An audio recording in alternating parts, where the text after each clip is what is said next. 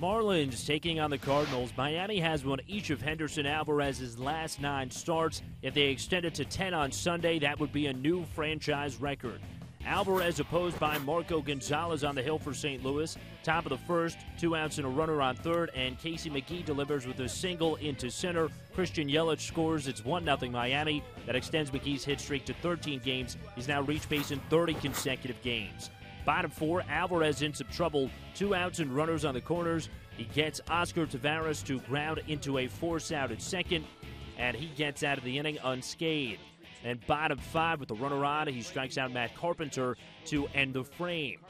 Marlins are looking for some more runs in the top of the sixth. Bases loaded and two outs for Marcell Ozuna facing Nick Greenwood. A bouncer into left field. That's a base hit. Alvarez will score. Yelich right behind him. And finally, the Marlins crack a hit in a big spot, and it's 3 0. Marlins would tack on one more in the inning to make it 4 0. Top seven, Alvarez doing it with the bat. He singles into right field, his third hit of the game. That's a career high for Alvarez, but the Marlins did not score in the frame.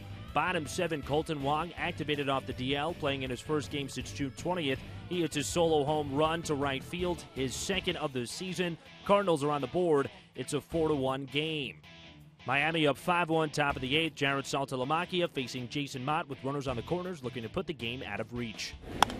Saltalamacchia, a high, high drive. Craig is back at the wall, gone to the moon. What a high blast to right by Saltalamacchia. And Miami cracks it wide open.